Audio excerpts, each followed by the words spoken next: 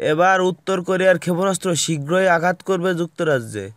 উত্তর কোরিয়ার পরমাণু অস্ত্রবাহী ক্ষেপণাস্ত্র আগামী ছয় মাসের মধ্যে যুক্তরাজ্যে পৌঁছে যাবে বলে আশঙ্কা প্রকাশ করছেন দেশটির পররাষ্ট্রমন্ত্রী বরিস জনসন। সম্প্রতি যুক্তরাজ্যের রক্ষণশীল দলের সংসদ সদস্যদের সঙ্গে ব্যক্তিগত বৈঠকে তিনি এমন আশঙ্কা প্রকাশ করেছেন বলে জানা যায়। বরিস জনসন আরও জানিয়েছেন, দক্ষিণ কোরিয়া থেকে যুক্তরাষ্ট্রের সকল সামরিক শক্তি প্রত্যাহার করতে পারে। এই পদক্ষেপের মূল লক্ষ্যে থাকবে চীন সরকারের আস্থা অর্জন এবং উত্তর কোরিয়ার নেতা কিম জন উনকে ক্ষমতাচ্যুত করা। এদিকে যুক্তরাজ্যের সাবেক সামরিক কমান্ডার রিচার্ড ব্যারেন্সও একই ধরনের সতর্কবার্তা উচ্চারণ করেছেন। তিনি বলেছেন, উত্তর কোরিয়া এক থেকে দেড় বছরের মধ্যে পরমাণু অস্ত্র দিয়ে যুক্তরাজ্যে আঘাত করার সক্ষমতা অর্জন করবে। সে সময় তিনি বলেছিলেন, রাশিয়া ও উত্তর কোরিয়া থেকে এই হুমকি দিন দিন আরও বাড়ছে।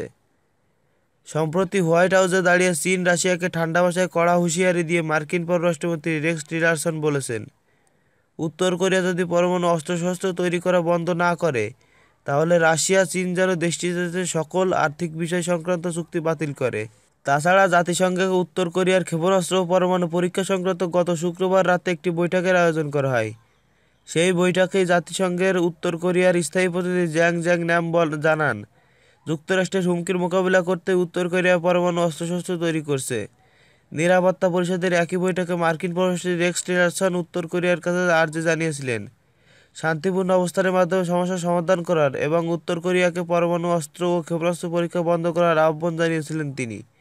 এমনকি কিছুদিন আগেও টিলারসন বলেন, উত্তর কোরিয়ার সঙ্গে যে কোনো বিষয়ে আলোচনায় বসতে প্রস্তুত রয়েছে যুক্তরাষ্ট্র।